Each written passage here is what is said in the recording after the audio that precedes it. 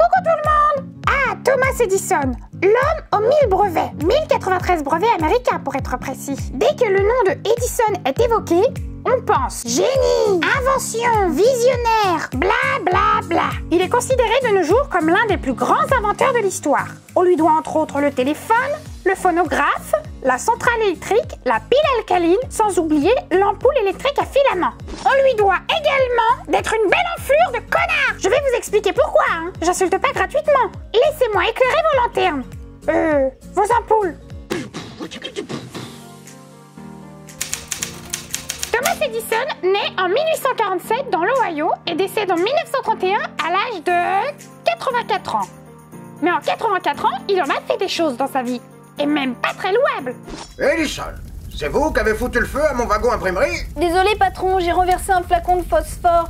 Edison, euh, c'est vous qui avez foutu le feu à mon entrepôt? Euh, peut-être, ça dépend. Celui qui a fait ça, vous le verrez. Patron, patron, un de nos laboratoires a pris feu. Hum, excellent.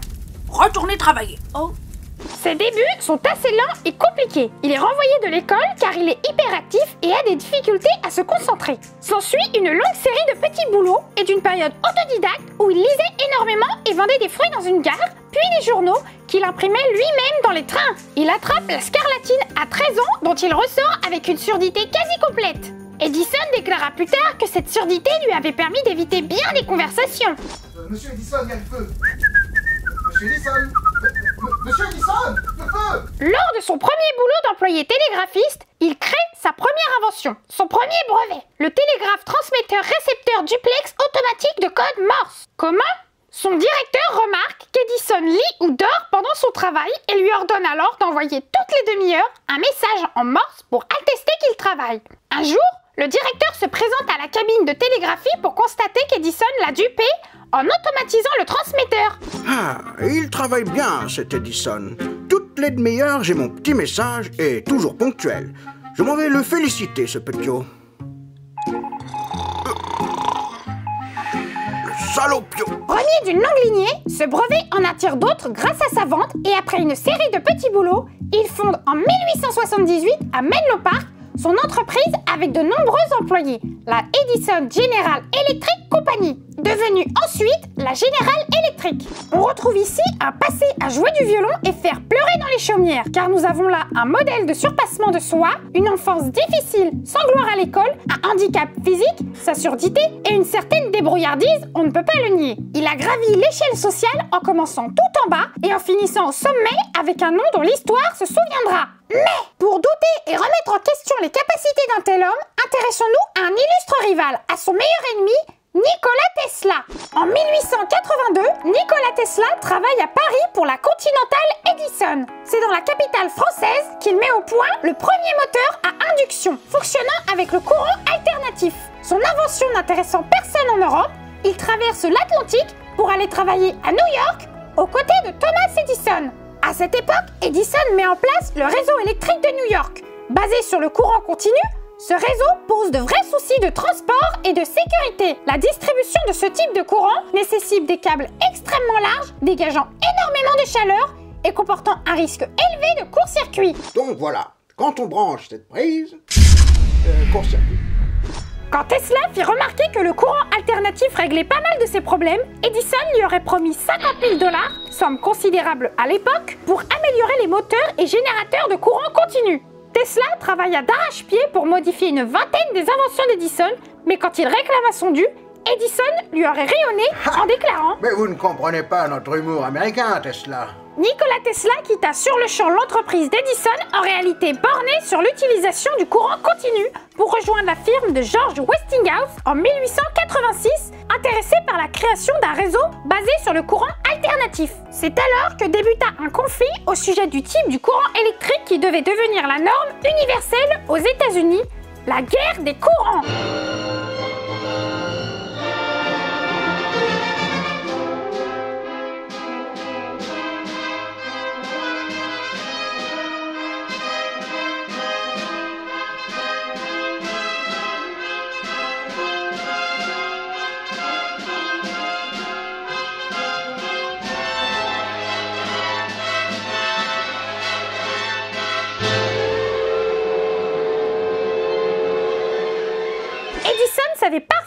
Que le courant alternatif de Tesla était meilleur. Son véritable problème était qu'un jeune inventeur, bien meilleur que lui, faisait toutes sortes d'inventions et d'expérimentations qui allaient faire avancer l'humanité à sa place. Mais il ne pouvait pas le laisser gagner à la loyale. Non, ça serait trop la honte. Oh. Il entreprit une vaste campagne de désinformation contre le courant de Tesla. Et désinformation, c'est un faible mot En plus de faire jouer ses relations pour empêcher le financement des travaux de Tesla, il fit électrocuter des chiens, des chats, des veaux et chevaux dans des démonstrations publiques avec le courant alternatif, et ce jusqu'à ce que mort s'en suive, afin de montrer aux gens combien il était dangereux. Oh Edison, le génie, va faire une démonstration de la puissance de l'électricité. Venez, venez. Ah oui, allez-y C'est sur la grande place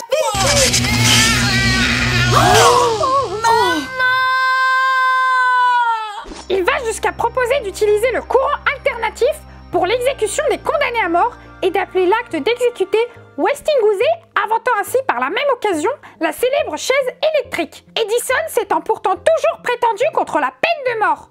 En tout cas, ma position sur la peine de mort sera ferme et je ne reviendrai pas dessus.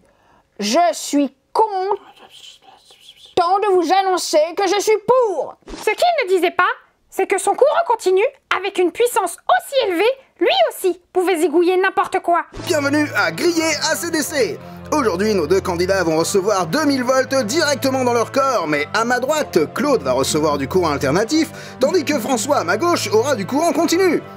Voyons qui va s'en sortir. On abaisse les leviers. 5, 4, 3, 2, 1, 0, partez L'histoire donna raison à Tesla en 1893 lors de l'électrification de l'exposition universelle de Chicago sur la base de courants alternatifs, démontrant au monde sa supériorité sur le courant continu. C'est cet épisode qui marque la fin de la guerre des courants. Mais nous touchons là le principal problème d'Edison. Il passa une grande partie de sa vie à décrédibiliser un savant meilleur que lui. Et vous savez le plus grave? Il y a réussi. Peu de gens connaissent le nom de Tesla, alors que tout le monde connaît celui d'Edison. Et ce, bien que l'héritage de Tesla soit partout encore au XXe siècle, ce qui n'est pas le cas de celui d'Edison. Les ampoules à incandescence, par exemple, qui étaient utilisées tout au long du XXe siècle, ont suscité une controverse en raison de leur consommation énergétique très élevée et ont fini par être interdites à la production et à la vente un peu partout dans le monde. Mais même une fois la guerre perdue devant l'évidente supériorité du courant alternatif, Thomas Edison tente un ultime coup bas pour essayer de prouver qu'il est dangereux. Il électrocute une éléphante prénommée Topsy, condamnée à mort pour s'être rebellée suite à des actes de maltraitance et ayant provoqué la mort de plusieurs soigneurs et dresseurs. Demandez le Times, demandez Le génie Edison fait électrocuter un, Ouais, je sais, un chat. un éléphant Putain. Pour que la nouvelle soit immortelle, il va même jusqu'à faire filmer l'exécution par une équipe de cinéastes. Moteur J'ai pas dit ça tourne Oh, pardon. euh, Assistant Il est où l'assistant? Ah. Bon, éléphant suivant Tesla, de son côté, passa à de nouvelles inventions, cherchant à améliorer le monde. C'est lui le véritable génie.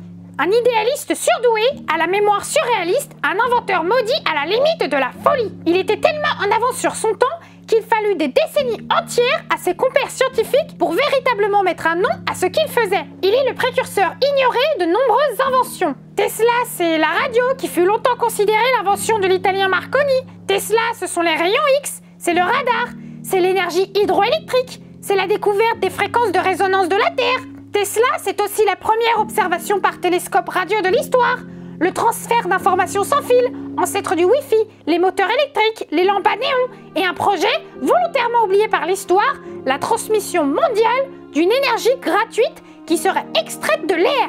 Tesla, c'est le pionnier de l'ombre qui n'a pas toujours cherché à courir après la notoriété ou réclamer la paternité de ses inventions. Tesla, c'est le mec qui a dit? N'importe qui, sur terre ou en mer, avec un appareil simple et bon marché tenant dans la poche, pourra recevoir des nouvelles du monde entier ou des messages uniquement destinés à l'utilisateur.